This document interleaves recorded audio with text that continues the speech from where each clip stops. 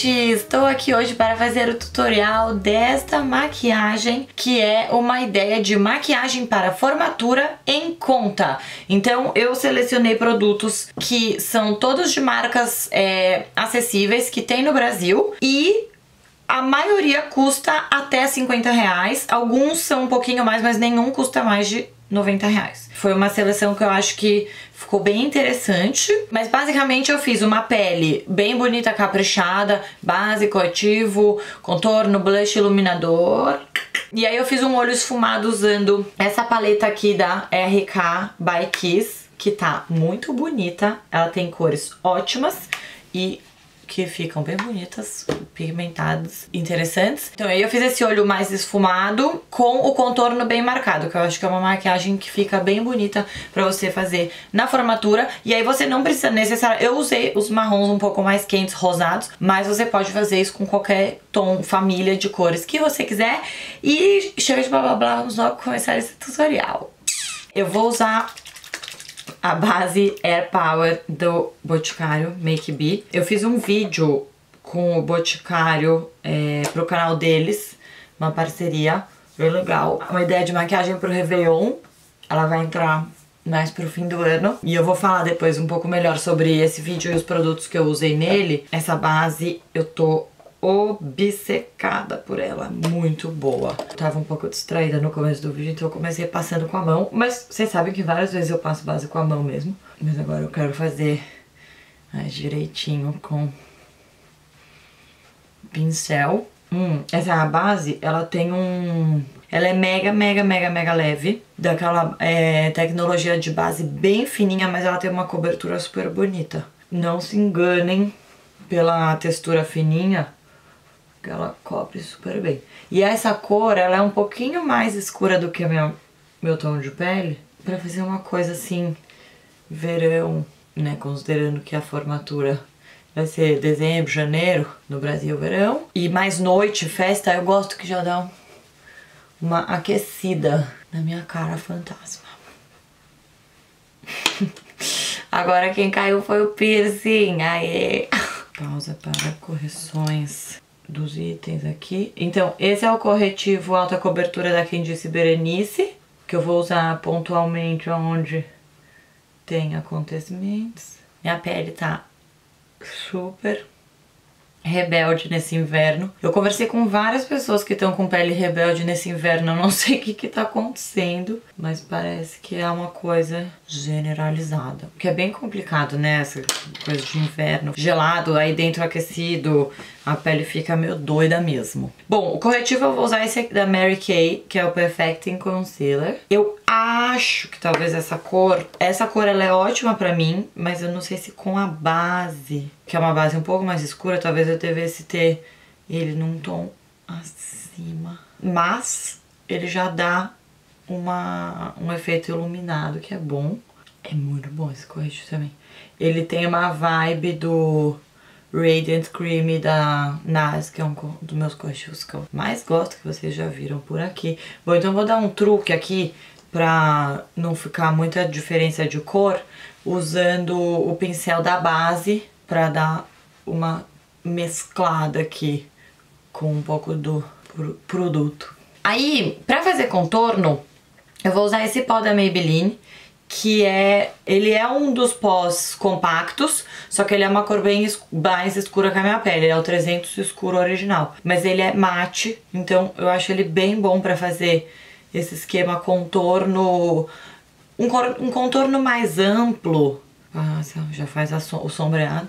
Um contorno um pouco mais amplo que já dá também uma pele um pouco mais bronzeada. Que é uma coisa que eu quero para essa maquiagem.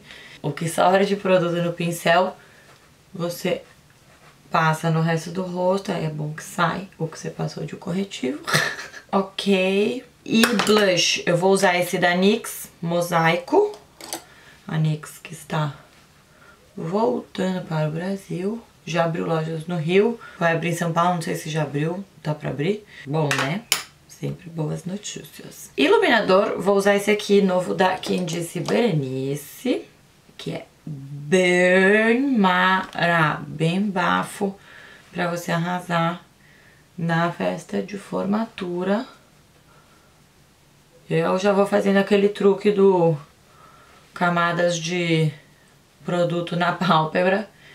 Então, bom, né? Muito show. E tem uma versão mais bronze, é um pouco mais escuro, pra quem tem pele mais morena. Então, acho que a pele é isso. E aí, no olho, eu vou começar, então, fazendo de base, como se fosse um primer, né, de sombra, com essa sombra líquida, sombra tint da Natura Aquarela, que é bronzeadinha e ela é líquida, então é bom pra, pra sombra em pó durar mais. Mas ela sozinha também já dá um efeito bem lindo, que ela é meio rosé, meio dourada. E aí, a paleta, de novo, mostrando aqui. Bom, eu vou fazer aquele estilo que eu gosto de misturar vários tons. Então, a dica, assim, geral é... Por exemplo, agora eu tô pegando dois desses aqui mais claros. Olha, tem um espelhinho, muito bem-vindo. Pra começar aqui. E não fiquem com medo de sobrepor as sombras quando você for fazendo o olho. Tem gente que fala, mas se você tá passando uma sombra em cima da outra, você não tá tapando. Mas na verdade não, você cria mais dimensão, porque uma sombra só vai dar um efeito. Mas se você fizer uma e por, outra, e por cima outra e outra e outra, você vai meio que criando uma dimensão mais interessante de cor. Então, não é só para fazer hum, o esfumado muito divididinho, sabe? Eu gosto de misturar mais as sombras, mas elas vão se encontrando. Agora eu vou pôr um pouquinho dessa aqui que é mais um marrom mais quente, mais tijolo. E é legal que você vai experimentando, sabe? Então, e sempre lembrando da dica que se você nunca usou a cor, passa o pincel e encosta no dorso da mão, só para você ter uma noção de como é a pigmentação dela. Isso vale para blush, vale para sombra.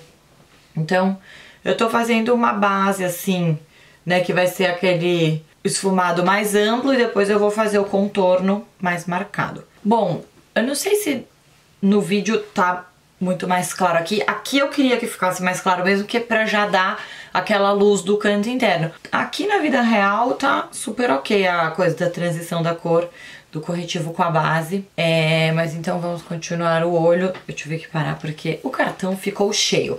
Então, como eu ia dizendo, agora eu vou pegar esse tom aqui, ó, que é um já com brilho e é tipo um marrom ro rosa, assim, marrom rosado, bem bonito, mirando na no côncavo, mas fazendo um movimento mais amplo. Marcando aqui, côncavo. E aí aqui, ó, esse canto de fora, eu vou arrumar depois, para não ficar esquisito no vídeo.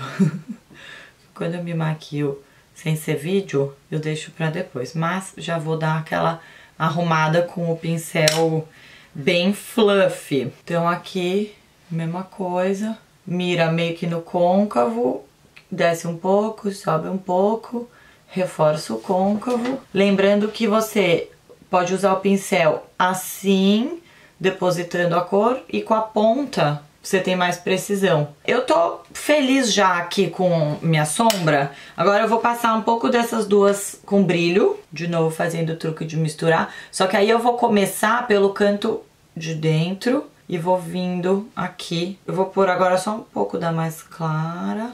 Clara com escura, brilho, canto de dentro. Vindo pro centro da pálpebra né? O resto eu tava fazendo centro, mas forçando aqui no canto de fora. Agora eu tô fazendo o canto de dentro, indo até o centro, que é pra dar essa luz aqui no meio, que fica bem bonito. E aí reforça o cantinho. Bom, aí eu vou pegar o terceiro pincel que a gente vai usar nesse tutorial, que é um pincel bem fininho, pra fazer rente aqui aos cílios de baixo. Então, eu vou basicamente usar as mesmas duas primeiras cores, que eram aqueles marrons mais begezinhos e um pouco mais acinzentados. E aí eu vou usar aquele marrom rosado mais escuro para completar. Lembrando que essa parte do rente aos cílios de baixo, quem se incomoda muito com as olheiras pode fazer mais rente aos cílios mesmo, tá? Não esfuma tanto, não vem tão pra baixo. Eu não acho que tem problema, mas assim, se você tem pavor das suas olheiras, você provavelmente não vai querer dar uma escurecida muito ampla aqui. Mas é sempre legal tá nesse olho fazer esse complemento com a sombra embaixo, porque depois quando a gente reforçar o contorno do olho de preto, você tem meio que um acontecimento aqui fazendo par com ele. E aí eu vou usar a sombra brilhante clara, só reforçando aqui. De sombra, então, eu acho que é isso. Daí eu vou usar esse lápis preto da Quem Disse Berenice para fazer o meu contorno. E aí, assim, aqui a ideia é fazer um traço mais fino, porque eu não quero que fique muito marcado, grosso, preto. Então, assim, eu quero a definição, mas eu não quero tanto o traço. Faz o mais fino que você conseguir é melhor fazer com lápis do que com delineador líquido, que é para você conseguir esfumar. Pega o seu pincel fininho, pega uma sombra mais escura da paleta. Na verdade, eu não tô usando a mais escura, que seria essa aqui, né? Eu tô usando essa segunda aqui, meio vinho, só pra dar uma esfumadica nesse traço. Esqueci de fazer isso no outro olho. É importante esfumar assim que você risca, senão o lápis seca. Agora, eu não consigo evitar fazer um puxadinho, mas não é pra ser um delineado, tá? É pra ser uma coisa mais em volta arredondada do que delineado mesmo. E aí, rente aos cílios de baixo, faremos a mesma coisa. Risca todo o contorno na linha d'água e pintando em cima dos cílios, que é para o seu lápis durar mais. Aí você pisca forte assim, ó, que é para ele carimbar em cima. Se você quiser, você pode passar o lápis pela linha d'água dentro. E aí você pode fazer ele encontrar aqui no canto de dentro também. Não tem problema que a gente iluminou o canto de dentro, porque aí é só bem realmente na linha d'água e o iluminado está acontecendo paralelamente fora da linha d'água. E aí você pode voltar com o seu pincel fininho pra dar aquela esfumada. Também poderia ter feito a sombra depois do lápis, né? Às vezes eu faço, especialmente rente aos cílios de baixo. Pra essa maquiagem, eu recomendo fazer o lápis em cima depois da sombra, pra a sombra não tapar ele. Mas pra fazer a parte de baixo, poderia ter sido depois. Bom, agora aqueles ajustes finais, pra você ver, né? Se os dois olhos estão iguais. Lembrem sempre de reforçar esse cantinho aqui, ó. Cantinho de fora. Que ele é super importante para dar um impacto maior no seu olho. Mas é mais ou menos isso. Eu vou agora com o pincel fofo e a sombra rosa, marrom rosada. Só dar uma última passada aqui. Bom, vocês sabem que, especialmente quando olhos desse tipo, eu poderia ficar horas aqui, passando mais sombra, esfumando eternamente, mas não quero desencorajar vocês a fazer essa maquiagem. Mas assim, vocês viram que é fácil, vai. É um formato mais amplo mesmo, então não, não, não precisa ter medo de chegar perto da sobrancelha, avançar aqui. Com esse pincel mais fofo e uma sombra que não é muito escura, você pode super fazer isso.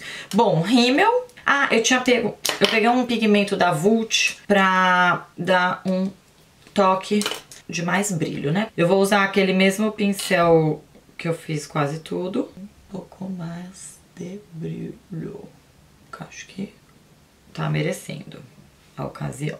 Aí eu tô também fazendo o brilho aqui, mais nesse centro, canto interno. Fica à vontade pra fazer o brilho como você quer. E boca, vou usar esse lápis da Mary Kay pra fazer o contorno. Aquele esquema, faz o contorno e já esfuma. Que dá a impressão de boca um pouquinho maior, mas sem sair muito pra fora do seu do seu desenho natural, ó. Eu vou usar esse batom da Panvel, que é um nude que eu gosto bastante, só que eu não sei se ele era de alguma coleção e não existe mais. Tomara que não, mas tem muitas opções de batom nude boa. Todas as marcas hoje em dia, isso não é um problema mais viva. Então, batom nude e aí eu vou passar um gloss só no centro do, da boca. Eu acho que é legal você fazer uma boca nude que tem um pouquinho de textura, sabe? Essa textura molhada do gloss. E é isso! Esta é a maquiagem e você está pronta para balar na sua festa de formatura sem entrar no limite do cheque especial. Sucesso! Bom, espero que vocês tenham gostado desse vídeo e nos vemos na segunda. Gente, eu como sempre arrasando, né? Sendo uma ótima blogger de maquiagem, tutoriais. Esqueci do rímel, né? Tava achando que tava faltando alguma coisa, esqueci do rímel. Mas assim, para ser bem sincera, eu não quero mesmo que o rímel seja o grande acontecimento dessa maquiagem. Mas, dado que eu quero esse contorno do olho mais definido, realmente o rímel é importante. Eu passei esse aqui de volume da Eudora, que é bem bom. Pincel, aqueles pincéis durinhos, deixa bem separadinho. Agora sim! Aê!